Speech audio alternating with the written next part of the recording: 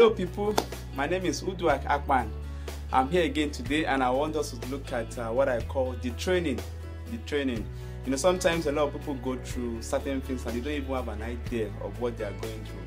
And at the same time, there are some other people that you know have an idea of what they are currently going through, but they don't know how to figure out or how to survive this particular period. And that's why we are here to talk about this today. We want to look at the scriptures, all through the scriptures, discover that for anyone that will walk with God, God will definitely train. If you look at the life of Abraham, God trained Abraham. Abraham learned obedience, you know, through the things, having to trust, you know, the voice he was hearing, and you know, God coming through for him in different times and different seasons. God trained, and Joseph, you know, Joseph was the only one of all his brethren. He's the only one that was dropped into the uh, well without water. He is the one, the only one that was sold to the Ishmaelites. He's the only one that went to the prison. And I've always said that the peculiarity of um, interpretation of dreams was not just um, to Joseph alone. Because the moment Joseph had a dream and told his brethren about the dream, the, immediately all of them said, Are you going to rule over us? Meaning that they could interpret the dream. But the only thing that was peculiar to Joseph was the fact that Joseph could dream. None of his brethren could dream. Joseph took that from, you know, from the father, Jacob. Jacob could dream, could interpret dreams. The same thing with Joseph. He could dream and same time he could interpret dreams, but all his brethren also could interpret dreams. The same thing God trained David. And I've always said that of all the kings in Israel till today, only David, only David has the record of being trained. You know, he had to go through the cave of Adullam.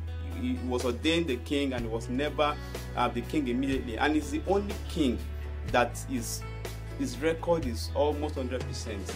And that's one thing you need to know that God will always train. You know, David had to learn, you know, um, character, character training. He had to learn leadership training and, of course, relationship training. Relationship training, he grew up in with character training. You know, it was about going to Nabal's house to destroy the whole of Naboth because he requested for something from Naboth and Naboth didn't grant him. But while he was going, Abigail met him, and we can see that in 1 Samuel 25, and of course, verse 20 to 26. Abigail met him and pleaded with David, and David, you know, because of Abigail, turned back. You know, at that particular point, David would have had um, bloodshed in his hand, but Abigail prevented him from doing that. So from from then on, on onward, he learned character training, also leadership training. 1 Samuel 24 verse 5 he had the opportunity to kill saul after he had been ordained king. And he saw saul saul was chasing him he was running away and running around the wilderness and saul all of a sudden he saw saul. And as soon as he caught um, saul's robe his heart smote him and of course his followers were there. So they learned that from david that even when you had the opportunity to destroy your enemy it is always good to wait for god's timing. So david is the only king you know, that passed through all these processes of all the kings, of all the kings in the kingdom. David learned um, God's training. At the same time, also, you know, sometimes we go through certain things in life, and some of us are actually understand the fact that okay, God might be training us, but we don't know how to survive, you know, this particular uh, time of training. If you look at the record, so the, the accounts, you know, in um, Luke chapter 5, 1 um, verse 1 to 11 you know. That was the first time jesus christ was going to meet uh, peter and god told him after jesus christ had used his boat and told him um, told him he has caught nothing and jesus christ told him launch into the deep. You know peter, peter caught so much fishes and after that peter went to his knee told jesus christ please depart from me and walk up iniquity. But jesus christ told him i'm going to make you what? A fisher of men. So peter went with jesus christ but after jesus christ died after jesus christ died in um, john chapter 20, you know, they went to the tomb, there was nobody there. They saw discovered that the tomb was empty, and they quickly went back and called Peter. And Peter came and saw the tomb and saw that the tomb was empty. But in uh, chapter 21 of that same John, Peter said, What I go a fishing, and two other disciples followed him. And Jesus Christ appeared again in John chapter 21 and said, Children, have you any meat? And they looked at because they had caught nothing. And that's because between the death of Peter and the resurrection of, of um, the death of Jesus Christ, sorry, and the resurrection of Jesus Christ, Peter did not really know what was going on, what was going to be the next thing. So, um, and he had not he, have, he had not learned how to wait for God's timing. He didn't really understand. So he went back, went a fishing, and he told all truth. And when Jesus Christ appeared to him, the record said that he didn't even know it was the Lord, it was Jesus Christ. And Jesus Christ thrust your net into the right side of the, and they caught so many fishes and they knew immediately that it was Jesus Christ. So it's called that the account, even though it was about fishing, but there were specific instructions. Specific instructions. The first one was launch into the deep. The second one was launch, launched into the right side. So for you to survive this period of training, you must always have the word for the moment the word for the moment. But before we go into talking about the word for the moment, there's something that a lot of us take for granted. So many times you hear some, you get this nudging, you know, in our spirits do not take this particular part take this part i've had cases where you know when i'm driving and i hear in my spirit do not take this part take this part and every time i disobey the voice i hear in the spirit i usually regret. Because sometimes i get to stop get stuck into hold up.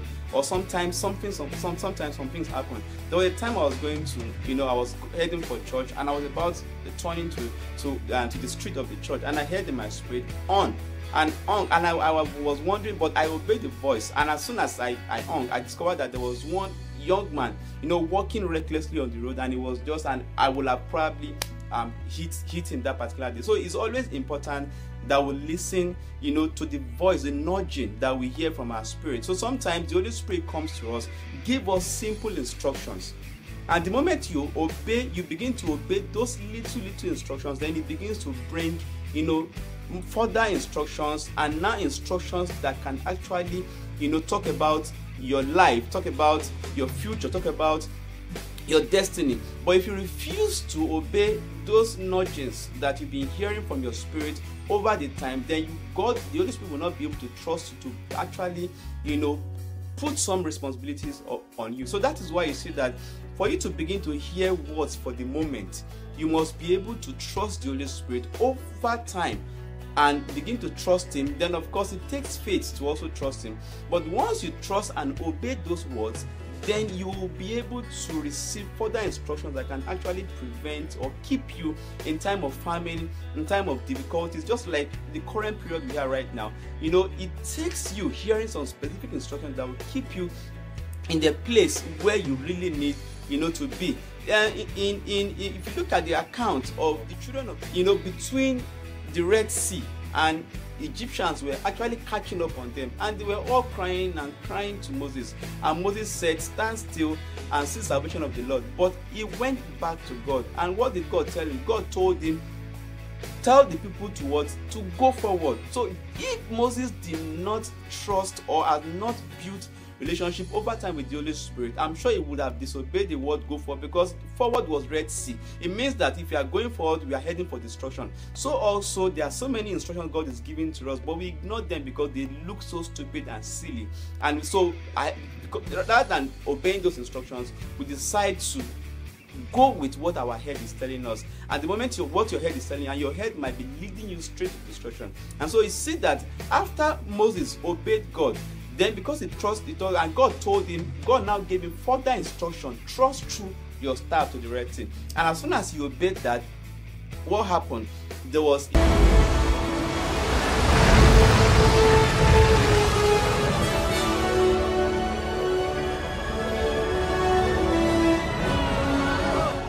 there was an open door for the children of Israel to actually go through the same Red Sea, but now on the dry part. So, if you do not build the relationship with the Holy Spirit over time, you know, to hear is um, word of word of word of the moment, even though we've been working with God, some of us get too used to God that we fail to realize that for every level, every uh, situation we get to in life, we need to go back to God to get instruction of the moment. If you look at the account in John chapter 11, 22 to 26, Jesus Christ came to town and, of course, to raise Lazarus. But when he met um, Martha, Martha said, If you had been here, my brother wouldn't have been dead. Let's quickly look, look, look at the account. Let's look at verse 22 of John chapter 11 to buttress what I'm trying to say.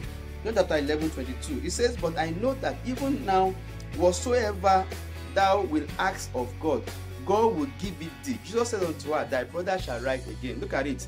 And Martha said unto him, I know that he shall rise again in the resurrection at the last day. It means that Martha had you know, was exposed to the word. Martha knew God's will, probably. Martha knew, Martha was used to listening to, to God, to the Holy Spirit.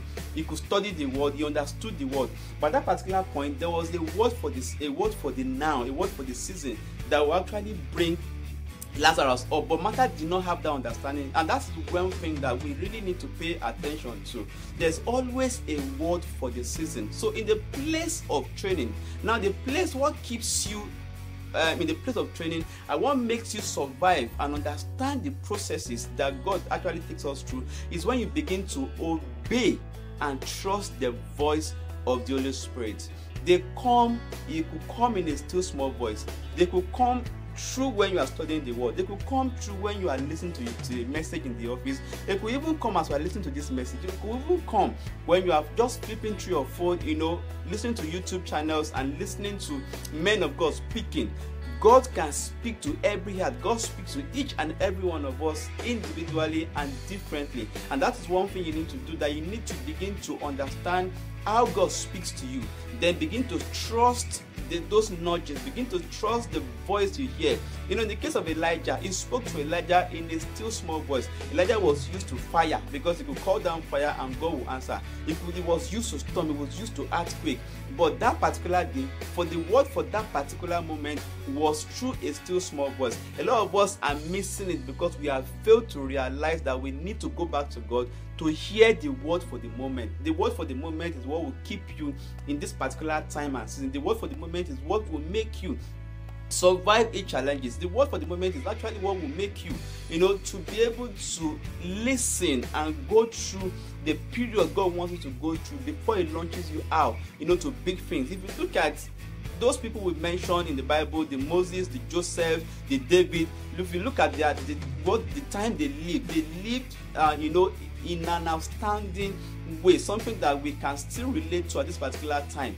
And because each of them whenever they call upon god god will always answer them. Why? Because they listen to god. They have learned to obey those little little instructions they hear from god and that's one thing you need to you cannot afford you cannot fail to listen to God. There's always a word for the moment. There's always a word for the season. And I pray for you today that your own timing you will not miss it. In the mighty name of Jesus. If this has blessed you, please do not forget to share this message and do not forget to subscribe if this is the first time on speaking this channel. Please sub subscribe and of course hit the bell notification so that each time we, we, we upload you know messages like this you will actually you know get through and get to listen to it. God bless you real good. And before we go for returning subscribers i want to say hands on the head. Thank you so much for being there for us. It's been a great blessing. We are always encouraged to do more because we know that you are always waiting for us to bring out video God bless you real good. The name is Uduak Akpan, and of course, you can also call me Buff. God bless you real good.